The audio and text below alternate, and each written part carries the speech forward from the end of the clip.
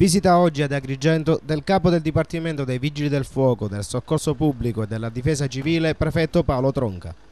Quest'ultimo è stato ricevuto dal prefetto di Agrigento, Francesca Ferrandino, presso la sede del Comando Provinciale dei Vigili del Fuoco di Villa Seta. A fare gli onori di casa è il comandante Salvatore Rizzo. Schierato nella piazza di addestramento il picchetto formato dai vigili del fuoco a cui il prefetto Tronca ha stretto la mano per ringraziarli personalmente del grande lavoro che gli uomini del comando provinciale stanno eseguendo a Lampedusa.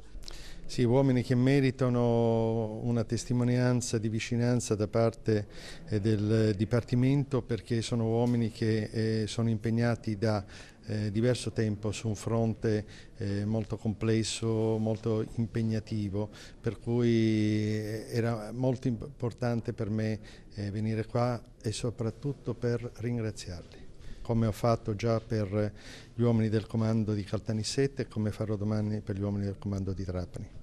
La visita nella città dei Templi dell'alto dirigente del Ministero degli Interni non è stata accolta da alcune sigle sindacali che in segno di protesta si sono rifiutate di incontrarlo.